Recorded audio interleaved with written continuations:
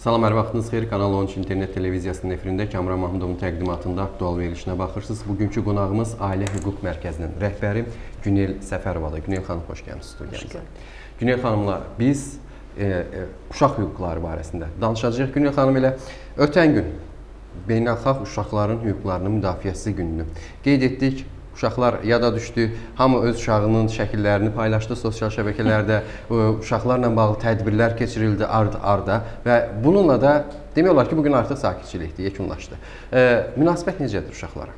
Uşaqlara ə, çox təşəkkür edirəm. Hə qeyd eləyim ki, mən də öz uşaqlarımın şəklini paylaşmışdım, amma Nə gözəl.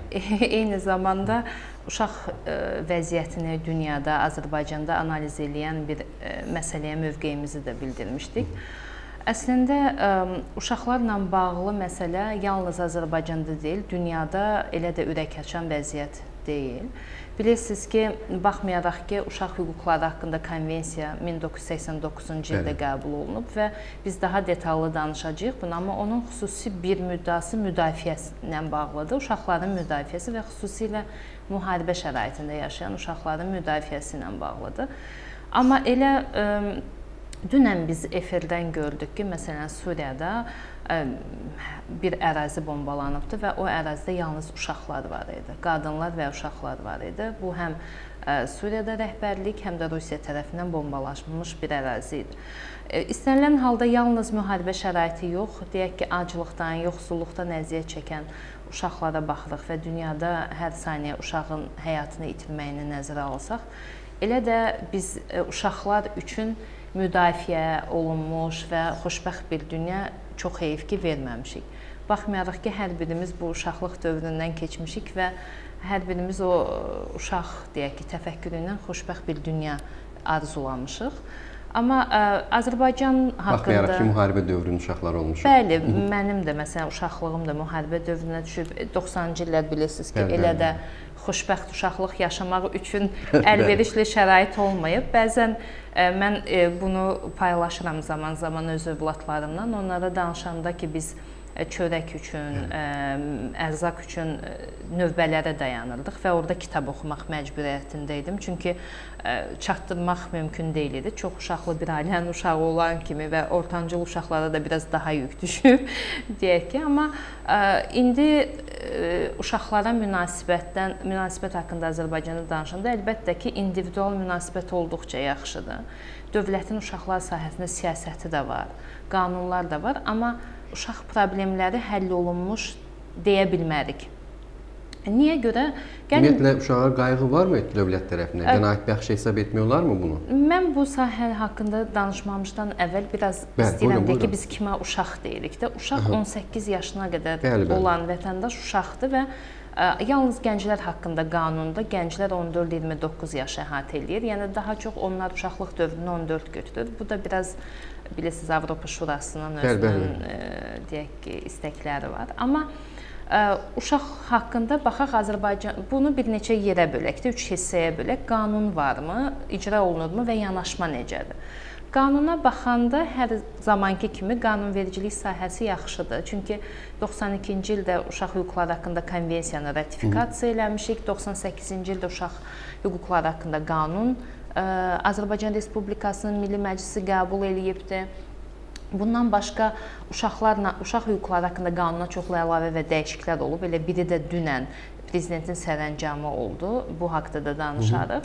Ə, Və baxırıq ki, qanunvericilik sahəsi yaxşıdır. İcra sahəsinə baxsaq, ailə uşaq ailə qadın və uşaq komitəsi fəaliyyət göstərir və uşaq hüquqlarını qoruyan deyək ki, yerli icra orqanlarında strukturlar var, uşaq təşkilatları var, fondlar var və ümumiyyətlə kifayət qədər icra edici struktur görürük. Baxmayaraq ki, bizdə xüsusi olaraq uşaqlara məsul sırf bir qurum yoxdur.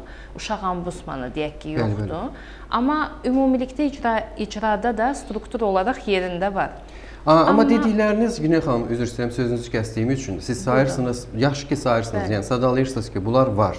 Az Azərbaycan dövlətində bunlar var. Yəni qanunvericilik baxımından və digər fondların adını bəli, çəkirsiniz. Bəli. Yaxşı ki, digərləri də maariflənirlər ki, bundan xəbərdar olsunlar. Bəli. Amma bütün bunlar hamısı formal olaraqdır. Hə. Yəni mən istəyirəm ki, reallıqdan danışaq. Azərbaycanda ikinci... uşağa münasibət necədir? Hə. Ailələrdə və hökumətin uşağa münasibəti necədir? Bax, bütün bunları mən istəyirəm Bəli. ki, reallıq necədir o barədə danışaq. Əslində uşaq uzun müddət uşaq təşkilatında fəaliyyət göstərmişəm və demək olar ki, 17 yaşından ə, internat və uşaq evlərində Bəli. uşaqlarla işlədiyimə görə bu sahəni və uşaq hüquqları haqqında Azərbaycanda analiz hesabatını hazırlayan şəxs kimi biraz hüququm çatır bu sahədə danışım. Dediyiniz ikinci mərhələdir. Bəli, formal olaraq strukturlar yerindədir, qanunlar yerindədir. Formal olaraq bu gün baxsaq internat və uşaq evləri gözəl təmir olunubdur. Yaxşı məktəblər də var, düzdür, hər yerdə olmasa da. Uşaqların deyək ki, inkişafı üçün formallıq normal görsənir. İlk baxışdan normal görsənir. Amma bu gün bir çox boşluqlar var. Məsələn, elə qanunun özünün olmaması olmasına baxmayaraq valideyn məsuliyyəti qanunvericilikdə yoxdur. Bu inzibati xətalar məcəlləsi ilə tənzimlənir və valideyn məsuliyyəti niyə? Çünki Azərbaycan Respublikasının konstitusiyasına görə uşağa birbaşa məsuliyyət daşıyan valideyni və dövlətdir. Hı -hı. Əgər valideyn yoxdursa, bioloji valideyn yoxdursa, o halda dövlət ə, deyək ki, əsas rol oynayır və istənilən halda bizə bəzən belə gəlir ki, valideyn olaraq uşaq mənimdir, istədiyim kimi rəftar, edə rəftar eləyə bilərəm və yaxud onun həyatı ilə bağlı istədiyim qərar verə bilərəm. qərarı verə bilərəm. Xeyr, belə bir şey yoxdur, çünki uşaq həm də dövlətindir. Nəyə görə? Çünki uşaq haqqında, uşaq hüquqları haqqında qanunda və ümumiyyətlə konstitusiyada birbaşa göstərilir ki, istənilən qanunda hətta toqquşma baş verərsə, uşaq rifahı daha üstün götürülür. Bu gün baxanda bizim biz hüquqşünaslar olaraq valideyn məsuliyyətinin daha ağırlaşdırılması, sərtləşməsinin tərəfdarıyıq. Niyə? Ona görə ki, yazıqlar olsun ki, biz reallıqda baxırıq ki, bütün uşaqlar təhsil hüququndan istifadə edə bilmirlər. Bütün uşaqların iştirak hüququ, deyək ki, sərbəst qərar vermə hüququ yoxdur. Yəni biz Azərbaycanda yaşayırıq, real şəraiti bilirik ki, nə vaxt biz valideyn olaraq qərar verəndə uşaqların mövqeyini almışıq və yaxud onu deyək ki, əsas saymışıq çox az bir vaxtda. Eyni qaydada cəmiyyətdə və ailədə biz bilirsiniz ki, həmişə deyirik ki, dövlət bir ailədir. Əlbəttə. Çox heyflər olsun ki, eyni qaydada da deyək ki, dövlət strukturlarının uşaqlara mövqeyində biz bunu görürük. Formal xarakter daşıyır. Məsələn, gəlin çox tipik bir qrupu götürək. İnternat və uşaq Əlbəttə. evlərində yaşayan uşaqlar. Çünki sayları kifayət qədərdir. Baxmayaraq ki, axır vaxt bu 10 min, 9 min rəqəmində deyilir. Amma ki, bu davam edən bir prosesdir. Kimsəsiz uşaqlar da Kimsəsiz var. uşaqlar var, küçə uşaqları bəli, bəli, var bəli. və s. nəzərdə tutulur. Azərbaycanda küçə uşaqları ilə bağlı xüsusi bir qayğı, sosial xidmət yoxdur. Bəli. Bu sahəni tənzimləyən hər hansı bir qanunda yoxdur. Azərbaycanda internat və uşaq evləri ilə bağlı bəli, bu sahədə işlər görülsə də, amma yenə də fərdi inkişaf deyil, kollektiv bir yanaşma var. Gəlin baxaq yenə də uşaq evlərində, deyə baxmayaraq ki, deinstitutlaşdırma proqramı qəbul olundu, uşaqlara sırf ailələrə verilməsi alternativ qayğı müəssisələri yaranmasında baxın görün nə qədər alternativ qayğı müəssisəsi yarandı barmaqla sayacaq qədər ola bilər. Baxmayaraq ki, Əmək və Əhalinin Sosial Müdafiə Nazirliyi kifayət qədər qeyri-hökumət təşkilatlarına bu sahədə qrant ayırırdı. Amma burada e, biz bir daha kökünə gəlirik ki, formallıqdan çıxıb siyasətin yanaşmanın doğru formalaşmağına getməliyik biz. Biz saya baxmamalıyıq. Hı -hı. Uşaq nə fayldır, nə saydır, nə rəqəmdir. Biz baxmalıyıq individual yanaşmaya, bu gün bütün dünyanın etdiyinə. Məsələn, biz ə, Sos Uşaq Kəndləri Azərbaycan Assosiasiyasında işləyirdim mən, çalışırdım. Biz biz orada müxtəlif ə, deyək ki, standartlar müəyyənləşdirirdik də. Tutaq ki, alternativ qayğı sistemində böyüyən Hı -hı. uşaqların forma, ə, standartları nə olmalıdır? Bizdə sadəcə kəmiyyət standartları işləyir. Keyfiyyət standartları nə yazıqlar olsun ki, çox zəifdir. Bu baxımdan həm də Nazirlər Kabinetinin də bir standartı təsdiq etməsi kifayət qədər uzun zaman alır və həmin o kateqoriyaların uşaqları artıq böyüyür. Ya bu da bir problemdir və bürokratiyadan nə yazıq ki, əziyyət çəkən elə birinci uşaqlar olur. Çünki hər hansı bir uşağın taleyi ilə bağlı qərar verəcək olan icra hakimiyyətində olan komissiyalar, yetkinlik yaşına çatmayan komissiya çox bürokratik fəaliyyət göstərir. Yəni mən şəxsi təcrübəmdən deyirəm və Bütün bunlar da hamısı uşağa olan münasibətin göstəricisidir. Bəli, məncə də. Bəli, düşünün ki, bioloji ailəsi olmayan bir uşaq və yaxud bioloji ailəsinin baxmaq iqtidarında olmayan bir uşağın taleyi ilə bağlı qərar verilməlidir. Bu bilirsiniz, uşaq taleyi ilə bağlı verilən qərar dırnaq arası və ümumiyyətlə formal olmamalıdır. Amma bu qərarı verən insanların uşaq hüquqları haqqında bilik bacarıqları nə dərəcədədir? Uşaq müdafiə siyasətini ümumiyyətlə bilirlərmi? Məsələn, qayıdaq elə o sualı məndən soruşsaz ki, uşaq müdafiə siyasəti varmı? Mənim cavabım yoxdur. Müəyyən elementləri var, amma ümumilikdə Azərbaycanda uşaq müdafiə siyasəti anlamı ikinci, üçüncü plana düşür. -hı. Ə, valideyn məsuliyyəti və dövlət məsuliyyətindən danışdınız və bunlar mənə elə gəlir ki, Azərbaycanda buna elə bir yanaşma var ki, səhv edə bilərəm, düzəldə bilərsiniz Günel xanım, çünki siz işin içindəsiniz. Ə, valideynin məsuliyyətini ona görə ə, daha çox deyirsiniz ki, artırılmalıdır valideyn məsuliyyəti. Artırılmır ki, çünki bu dövlətə sərf eləmir, hökumətə sərf eləmir.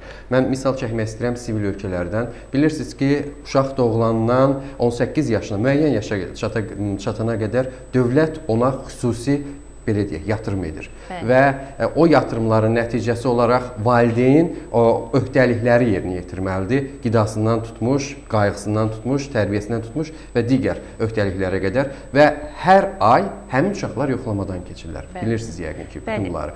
Ə, və həmin yoxlamada hansısa bir ə, bir balaca pozuntu aşkar olunsa, Hətta qan analizi belə verirlər uşaqlar görək həmin qidalardan, qida rasionundan istifadə ediblərmi, tətbiq olunan. E, Əgər hansısa bir, e, bir pozuntu aşkar olunarsa, uşaq ailədən alınır və dövlət onu boynuna götürür və yaxud da ki, digər ailəyə verir. Bizdə isə bunu dövlət etmir ya da etmək istəmir. Baxın, ə, e, əslində çox maraqlı bir məqama toxundunuz. Azərbaycanda biz uşaqlar haqqında danışanda xüsusi həssas yanaşmalıyıq, çünki əhalinin 2 milyon uşaqdır. Hı -hı. Yəni böyük bir hissəsi uşaqdır. E, bəziləri də deyək ki, 14 yaşından sonra götürüldüyünə görə gənclər kateqoriyasına, yəni gəlir 3 milyona yaxın bir uşaq çıxır və biz əhalinin böyük bir hissəsi və də gənc bir ə, deyək ki, nəsil olaraq gənc bir nəsildən danışırıq biz. Bəli, tamamilə haqlısınız. Baxın, beynəlxalq təcrübədə sosial iş faktoru çox önəmlidir. Məsələn, hər bir ərazidə orada sosial işçilər var. O sosial işçilər nəinki onun sağlamlığı ilə bağlı, uşağın inkişafı ilə, dərsi ilə, dərsə davamiyyəti ilə bağlı, təhsili ilə bağlı, ümumiyyətlə uşağın inkişafı ilə bağlı, müdafiəsi ilə bağlı hər bir şeyə nəzarət eləyirlər. Yəni uşaqlar nəzarət altında. Azərbaycanda hələ bu sistem yoxdur çox azdır. Çox az deyək ki, baxanda bir Əslində, rəqəm bu sistem, deyim. E, sözünüzü e, sözünüzü yeni kəsmək məcburiyyətində. Bu sistem e, yəni hökumətin dilini uzadır vətəndaşın əlbəttə, qarşısında. Əlbəttə. Çünki mən sənin övladını böyütmək üçün səninlə bərabər addımlayıram demək istəyir e, vətəndaş. Hər bir vətəndaş. Vətəndaş da dünyaya övlad gətirməkdən çəkinmir və bilir ki, e, başına e, hansısa bir hadisə gəlsə övladına dövlət dəstək duracaq və onun övladı rahat böyüyəcək. Bizdə isə əksi nədir? E, Misal üçün e, insanlar övladlarını böyüdürlər və 18 e, yaşına çatandan sonra hərbi xidmətə yola salırlar. Və Bəli. dövlətin dili bu məsələdə qısadır. Hı -hı. Heç bir köməklik etmədən belə övladı valideyn böyüdür və sonra yola salır. Əslində bəli, düz deyirsiniz. Bu bu məsələ var. Baxmayaraq ki, bizdə hə, deyək ki, hakimiyyətin dediyi sözlər də var. Biz pulsuz təhsil veririk uşaqlara. Təhsilin səviyyəsi də mübahisəli bir mə Əlbəttə. məsələdir. Lap əvvələ getmək istəyirəm ki, uşaqlarla bağlı məsələdə biz kökündən ailədən başlamalıyıq. Çünki birincisi uşaqlarla bağlı məsələdə o qədər böyük problem var. Bu da selektiv abortlar da daxildir. Çox uşaqlı ailələrin Bəli. məsələsi, ailə planlaşdırması, reproduktiv sağlamlıq, uşaqların ümumiyyətlə bir ailədə dünyaya gəlirsə, onun həyatı ilə bağlı qərarı kim verir? Bizdə ailələr necə qurulur? Nigahsız, nigahdan kənar doğulan uşaqlar var, bilirsiniz ki, sayı heç də az deyil. Qeyri-rəsmi nigahdan dünyaya gələn uşaqların sayı bu gün 25 mindən çoxdur. Yəni bu kifayət qədər böyük bir rəqəmdir. Bu uşaqların təhsil almağı, bioloji ailəsi olmayan uşaqlar, yəni uşaqlarla bağlı dövlətin siyasəti kifayət qədər güclü olmalıdır. Çünki baxanda, sadalayanda o qədər çox problem sadalanır ki, bəzən baxırsan ki, bu hegemon bir problemlərin içindən dövlət necə çıxsın. Amma bunun çox sadə çıxış yolu var. Mən düşünürəm ki, bu məsələdə Ailə Qadın və Uşaq Komitəsinin öhdəsinə çox mühüm iş düşür. Çünki onlar ailə, uşaq və qadın mövzusunda dövlət siyasətini formalaşdıran qurum roluna artıq girməlidir. Artıq bizdə hər il dövlətin özünün bu sahədə hesabatlılığı və görülmüş tədbirlər planı olmalıdır ki, yenə də bunun formal yerinə yetirmək lazım deyil. Çünki e, biz uşaqlar haqqında danışanda yalnız paytaxt uşaqlarını nəzərdə tutmuruq ki, region uşaqları var. Regionda da özünün e, xüsusiyyətinə görə problemləri fərqlidir. Hə siz sadaladığınız bir sadəcə misal gətirəcəm problemin buyurun, buyurun, nə buyurun, dərəcədə böyük buyurun. olduğunu göstərən. Götürək məsələn Gəncədə 500 min əhali var da. 500 min əhalisi olan bir yerin uşaqlarının həyatı haqqında qərar verən 3 nəfərdir. İcra hakimiyyətində həmin o komissiya. Axı bu sayı etibarı ilə heç mümkün deyil ki, orada yaşayan uşaqlarının inkişafını, müdafiəsini və s. izləmək mümkün olsun.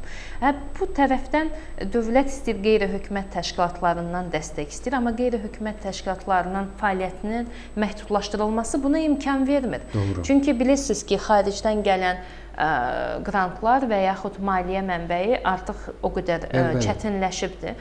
Azərbaycanın ayırdığı maliyyə mənbəyi kifayət etmir ki, bu cür problemləri həll edək. Heç çəkinmədən bunun haqqında açıq danışmalıyıq. Çünki bu gün dövlətin büdcəsi də azalır və ə, biz düşünürük ki, ə, özünüz də bu məsələn qeyri-hökumət təşkilatları sahəsində işləyən adam kimi sosial xidmət layihələrini 10 min, 15 min civarında həyata keçirmək mümkün deyil. Bu daha çox maliyyə tələb edir. Bu da daha çox xaricdən gəlirdi bu maliyyə. Onun da qarşısı alındığına görə bu cür xidmətləri etmək deyək ki, mümkünsüzləşib və yaxud bu gün deyək ki, Sosial Müdafiə Nazirliyi eləyir, amma Sosial Müdafiə Nazirliyinin etdiyi xidmətlər nə qədər ərazini əhatə eləyəcək ki, çünki uşaqlar çoxdur. Məsələn, problemlərə qalanda bu gün ailələrdə məsələn mən ailə hüquq mərkəzinin rəhbəri kimi bunu deyə bilərəm ki, ailənin dağılmasına gətirən faktorlardan biri də iqtisadi amildir. Bəli. Ana işləyə bilmir çünki Sosial uşağa vəziyyət, baxır. Bəli. Həmin o ərazidə də bilirsiniz ki, bağçaya aparmaq say ə, limit var. Bizim bütün uşaqlarımızı əhatə əhatə eləyən məktəbə qədər təhsil yoxdur. Çünki say etibarı ilə yoxdur. Günərzi qayğı mərkəzləri olmalıdır ki, heç olmasa ananın işləməsi üçün müəyyən şərait olsun. Hətta məktəb yaşına çatsa belə, məktəbdə oxusa belə, məktəbdən gələndən sonra uşağa kim baxacaqdır? Və bu ə, yəni bilirsiniz, baxanda qanunlara çox asandır, çox gözəl görsənir, amma reallıq, həyatın reallığı tamam başqadır. Bu mərkəzlər yoxdur. Əlilliyi olan uşaqları olan valideynlər var. Yəni bilirsiniz ki, Azərbaycanda 62 min böyük bir rəqəmdir. Əlilliyi olan uşaq var. Bunlar bunların sadəcə deyək ki, inklüziv təhsilə səhv etmirəmsə, ola bilər rəqəmdə biraz səhv edim, 500-ə qədəri cəlb olunur inklüziv təhsilə. Bəs bunların qalanı hansı təhsilə cəlb olunur? Evdə təhsil bilirsiniz ki, adı formallıq var. adı var. Valideyn çox vaxt e, sadəcə müəllimlə razılaşır ki, onun adı getsin. E, bu baxımdan biz uşaqları müəyyən kateqoriyalara görə e, böləndə görürük ki, e, uşaqlarla bağlı doğrudan da ciddi narahatlığa səbəb var Azərbaycanda. Bəli, mən əminəm ki, e, fərqi yoxdur. İstənilən hakimiyyət uşaqların yaxşı yaşamasını istəyir. Çünki biz qəlbən, ruhən e, uşaqları sevirik. İnsan olaraq uşaqları sevirik. Amma bunun üçün mühüm addımlar atılmalıdır.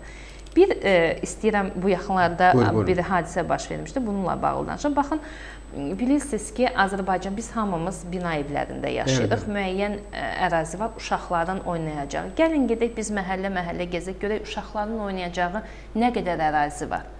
Çox az bir məhdud bir sahə hansı ki, hal-hazırda onlar maşınlar tərəfindən tutulubdu və yaxud orada hansısa bir obyektlər tikilibdi. Hı -hı. Yəni uşaq Bizdə amma, misal üçün xeyriyyə evidir.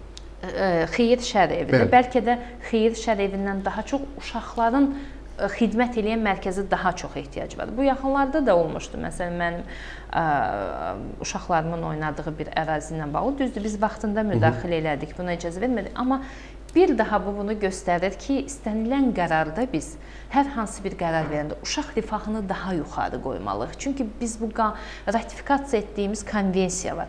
Ratifikasiya etdiyimiz konvensiyanın 4 böyük hissəsi var. Bu iştirakdır, müdafiədir, yaşamaqdır, inkişafdır. Uşaq inkişafını əgər biz bu sənədi imzalamışıqsa, uşaq ə, hüquqları haqqında qanunda da qarşımıza məqsəd qoymuşuq ki, istənilən dövlət siyasəti həyata keçiriləndə uşaq rifahı üstün tutulacaq, buna əməl etmək lazımdır. Buna əməl etsək, sadaladığımız bütün problemlər zəncirvari həll olunacaqdır. Elə uşaq hüquqların günü, günü ilə bağlı elə ötən gün e, sosial şəbəkələrdə yayılmış iki fikri, iki faktı istəyirəm ki, münasibət bildirəsiz. E, bilmirəm, ə, həmin günə düşməsi təsadüf idimi yoxsa ə, ümumiyyətlə münasibət bu cürdür. Ə, bir hadisə Cəlilabadda baş verib. 11 yaşlı oğlan bazardan çörək oğurladığı üçün oğlan uşaq, yəni o əli qandallanaraq polis bölməsinə aparılır. İkinci hadisə isə Bakının rayonlarından birində bağçaya hansısa bir müğənni təyin olunur. Bax, bunların ikisi sosial şəbəkələrdə hazırda ən çox müzakirə olunan mövzulardan biridir. Hətta o, o xanımın e, şəkilləri yayılır. Əslində mən doğru hesab etmirəm bunu. Yəni e, hörmət lazımdır şəxsi həyata. Onun şəkilləri hansısa bir e, müzakirə mövzusu olmalı deyil. Amma bəli, uşağın şəkilləri yayılır və uşağın şəkillərinin yayılması onun faktını göstərir ki, əlləri qandallıdır. Ə, bax bu münasibətin cəmiyyətin münasibəti bu cürdürmü? Belə olmalıdırmı Güney xanım? Əslində hüquq e, hüquqşünas kimi qiymətləndirəndə ümumiyyətlə mən o faktın araşdırılmasını istəyirəm. Bu gün paylaşdım və həmən paylaşandan sonra o informasiyanı e, bilirsiniz uşaq e, ümumiyyətlə yaşının 10 yaşına olduğunu nəzərə alaraq o hüquq subyekti olmadığına görə o qandallanmamalıdır. Yəni buna görə bu faktın ə, açığı hansısa bir əməlin törədib törədilməməsi, əlavə hansısa bir cinayət işinin olub olmamasını bir neçə mənbədən xahiş elədim ki, araşdırsın. Əgər bu fakt sırf həmin o çörəyin oğurlanmasına görədirsə, bu ə, humanizm prinsiplərinin üzərindən xətt çəkən bir faktdır və ümumiyyətlə hüquqi baxımdan buna yol verilməzdi. Çünki o yetkinlik yaşına çatmayan bir uşaqdan danışırıq biz. Bununla bağlı baxın eyni zamanda niyə qayıtmaq istəyirəm bu məsələyə? Dünən həm də e, cənab prezident uşaq hüquqları haqqında qanundan çıxış eləyərək uşaqların sağlamlığına və inkişafına ziyan vuran informasiyanın ə, qorunması haqqında bir sərəncam imzaladı və tapşırıq verildi Nazirlər Kabineti ki, tezliklə bu uşaq hüquqları haqqında qanuna əlavə olunsun.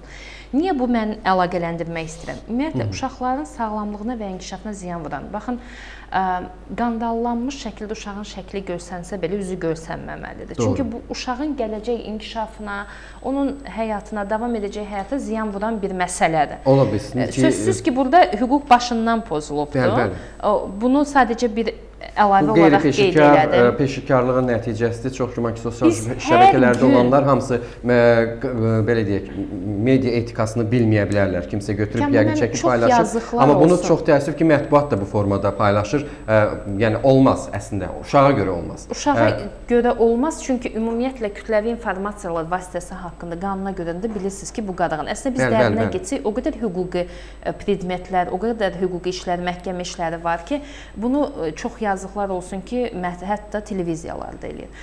İkinci Bəli, məsələyə qa qalanda isə baxın bir müğənninin uşaq bağçasına təyin olunması, mən müğənnini tanımıram və ümumiyyətlə hər hansı bir məlumatım yoxdur onun fəaliyyəti haqqında. Biz nəinki bağçaya Kamraman, nəinki bağçaya, ümumiyyətlə uşaqlarla bağlı istənilən müəssisəyə uşaq hüquqlarını bu və ya digər şəkildə bilən uşaq müdafiə sistemindən anlayışı olan bir insanın təyin olunmasını istəyirik əlbəttə. İlk növbədə uşaq psixologiyasını uşaq bilən. Uşaq psixologiyasını bilsin, pedagogikanı bilən bu insanlar. Biz bu gün baxın o yadınıza gəlir məktəbdə zorakılıq hadisəsi olmuşdu. Əlbət. Bu çox səs-küyə səbəb olmuşdu. Mən bununla bağlı intervyu vermişdim və bəzi narazılıqlar da vardı. Mən yenə də sözümün üzərində duram ki, Azərbaycan məktəbi yaxşı şagird yetişdirə bilər. Halbuki buna da 200 e, bal keçid ballarına baxanda həll tərəddüd tərəddüd eləyirəm bu sözümdə, amma yaxşı şəxsiyyət yetişdirmir. Çünki bizim müəllimlərimiz pedaqogikadan, psixologiyadan nə yazıqlar olsun ki, Belə təəssüflər olsun o qədər də çox deyil. Düzdür, müəllimləri də sırf qınamaq istəmirəm. Burada məktəbin psixoloqu da çox yaxşı fəaliyyət göstərməlidir. Amma yenə də hər şeyin başı gedir təhsilə dayanır. Təhsildə. Baxın, Çünki müəllim də 200 bal sistemi ilə gedib müəllim olub, bəli, bəli. gəlib məktəbdə dərs deyir, nə öyrədəcək uşağa? Biz istənilən bir sosial problemi götürəndə təhsil elə bir sahədir ki, gəlir kökü orada dayanır. Bəli. İstənilən bir sosial problemi götürəndə bu gün biz nədən danışırıqsa, biz düşünürük ki, uşaqlara bu təhsil olunsa, baxın, əslində bu gün uşaq hüquqları haqqında vəziyyət çox yaxşıdır. Bunu da qeyd etmək istəyirəm. Həyat bilgisi deyilən bir dərslik keçirilir. Uşaq hüquqları oradan anlatılır. Məsələn, mən övladıma nə isə deyəndə deyir, sən uşaq əməyinin istismarı ilə məşğul olursan, bunu bunu belə dilə gətirirlər uşaqlar. Amma hər bir ailədə buna imkan verirmi ki, uşaq öz fikrini Bəli, ifadə eləsin. Məktəblərdə belə bilirsiniz ki, bizim müəllimlərimiz ə, uşaqları təhqir edici ifadələr işlədirlər və uşaqlar bunu normal bir ifadə kimi qəbul edir. Bu yaxında uşaq bağçalarının birinin qarşısından keçirdim təsadüfən. Təsəvvür tərbiyəçinin, yəni uşağı təhqir edici fikri çöldən eşidilirdi. Bəli eşşək deyə müraciət edirdi uşağa. Və bunu mən çöldən elə onun darvazasının ağzından keçəndə belə binadan gələn səsi eşidirdim, pəncərə açıq idi. Bu verdiyimiz tərbiyə, verdiyimiz uşaqdan gələcəkdə güclü şəxsiyyət gözləyə bilmərik. Bu cür böyütdüyümüz uşaqdan biz gələcəkdə siyasəti formalaşdıran insan gözləyə bilmərik. Göz, ola bilər, təsadüfən gəlib o siyasəti formalaşdır, amma düzgün siyasət formalaşdırmayacaq ki, əziyyət çəkəcək və bizim də apardığımız uşaq hüquqları sahəsində hər birimizin apardığımız mücadilə və e, istədiyimiz də budur ki, biz təhsildən tutmuş ailədə, təhsildə, məktəbə qədər təhsildə biz uşaqları ə, bir şəxsiyyət kimi yetişməyi də öyrədək. Yalnız Hı -hı. onlara fizikanı, riyaziyyatı, nə bilim, ədəbiyyatı öyrətmək eyni zamanda onların şəxsiyyət kimi yetişməsinə yardım eləyir. Bütün bu çox problemlərdən danışdıq Adi, biz. Çox üzr istəyirəm Günel xanım. Bəzən müəllimlərdə insanları təəccübləndirirlər. Adi düşünmə qabiliyyəti belə olduqca aşağıdır. Mən bu yaxınlarda status yazmışdım. Öz qızım 2-ci sinifdə oxuyur. Müəlliməsi ona mahnı öyrədirdi. Musiqi dərsində küçələrə süsətmişəm. Və mən bunu etiraz formasında yazdım. Çox təəssüf orada da yazmışam. Çox təəssüf ki, həmin müəllimənin nömrəsi məndə yox idi. Zəng vurub danışacaqdım. Küçələri süsətmişəm, yar gələndə toz olmasın. Yəni 7 yaşında bir uşağın oxuyacağı mahnı deyil hər halda. Yəni uşaq bəli, mahnıları var. Əlbəttə. Onlardan öyrədə bilərsiniz. Hər halda o yaşa çatanda bunları öyrətmək olar. Bax, düşünmə, bunu düşünmək çətindirmi ki? Bu 7 yaşında uşaq üçün mahnı deyil. Yox, əlbəttə düşünmək çətin deyil. Əlbəttə ki, bilirsiniz, bəzən biz e, ekspertlər olaraq nə isə müzakirə edəndə dedik ki, biz axı Azərbaycanda yaşayırıq. Bu hiss etdiklərimizi, bildiklərimizi işlədiyimiz insanlar da bilir. Niyə buna əməl etmirlər? Hüquqşünas kimi məni qınasalar da mən deyəcəm ki, cəza metodu olmalıdır. Bu gün cəmiyyətin problemlərinin bu halda olmasına səbəblərdən biri də cəzasızlıqdır. Bəli. Əgər baxın uşağı döyən, uşağa təhqir eləyən, uşağa ə, nalayiq sözlər deyən müəllim cəza alacaqsa, burada da yenə də qeyd edirəm, bu nə ə, töhmət verilmiş yazıdan iş, söhbət gedir, nə işdən çıxarılmadan gedir. Hüquq mühafizə orqanları işə müdaxilə eləyəcəksə, uşaq polisləri yaradılacaqsa, bu gün uşaqlarla bağlı bilirsiniz ki, hüquq sisteminin yanaşması demək olar ki, acizdir. Uşağın zorakılıq hələ biz çox məsum problemlərdən danışdıq. Zorakılıq qurbanı olan uşaqlarımız var bizim. Zorakılıq qurbanı olan uşaqlarımız zorakılığı törədən şəxslə eyni evdə qalmaq məcburiyyətindədir, faktı aşkarlasaq belə. Doğru. Çünki zorakılıq qurbanlarının uşaqları Niyə yerləşdirəcəyimiz müəssisə yoxdur. Və yaxud biz bu gün uşaqları yerləşdirsək belə o müəssisənin yanaşması oradan çıxan uşaq potensial ə, deyək ki, demək Cinayət istəmirəm o sözü, amma ki, yəni potensial olaraq təhlükə yarada bilər. Doğru. Yəni bu məsələlər kifayət qədər ciddi məsələdir və mən ə, ola bilər ki, çox vaxt danışanda deyirlər ki, niyə neqativ köklüyürsünüz bu məsələni, amma bu gün uşaqlarımızın vəziyyəti bizim 30 il sonrakı bir vəziyyətimizdir. Yəni biz İndi nə ediriksə uşağa, çox yaxşı bir söz var. Çoxumuz dedik, uşaqlar bizim gələcəyimizdir. Xeyr, uşaqlar bizim indimizdir. Biz indi uşağa nəyi öyrədiriksə, hansı tərbiyəni, hansı yanaşmanı aşılayırıqsa, eyni cəmiyyətdə biz yaşayacaq və qarşımıza çıxacaq. Bizim yaşlılıq dövrümüzdə həmin o uşaqlar yönədəcək Azərbaycanı. Buna görə də bizim uşaqlara qarşı uşaqlara olan mövqeyimiz daha fərqli olmalıdır. Yəni əgər biz bu gün qadınlardan hallardan və sair sosial xidmətdən danışırıqsa, birinci növbəyə mənim düşüncəmə görə uşaqları qoymaq lazımdır. Çünki o uşaqlar ə, öz həyatları haqqında qərar vermək mərhələsində deyil. Biz onları necə formalaşdırırıqsa, o cürdə biz onları qəbul eləyəcəyik. Təşəkkür bildirirəm Günel xanım. Studiyamıza buyurun. gəldiyiniz üçün, suallarımızı cavablandırdığınız Çox üçün, baxmayaraq ki, dediniz ki, uşaqlar bizim gələcəyimizdir sözü ilə razılaşmırsınız. Bizim indimizdir deyirsiniz. Amma mən deyirəm uşaqlar bizim gələcəyimizdir. Əslində biz bu gün onları necə yetişdirsək yetişdirsək, sabahımız o cür olacaq. Bax bunu nəzərə almaq lazımdır. Həm ə, dövlət, çünki dövlətə də layiqli vətəndaşlar lazımdır, həm də ailələrə layiqli övladlar lazımdır. Ona görə də uşaqlara qarşı diqqətli olmalıyıq. Bu günlük bu qədər aktual verilişi burada işini yekunlaşdırır. Növbəti görüşlərə dək salamat qalın. Təşəkkür edirəm. Çox sağ olun.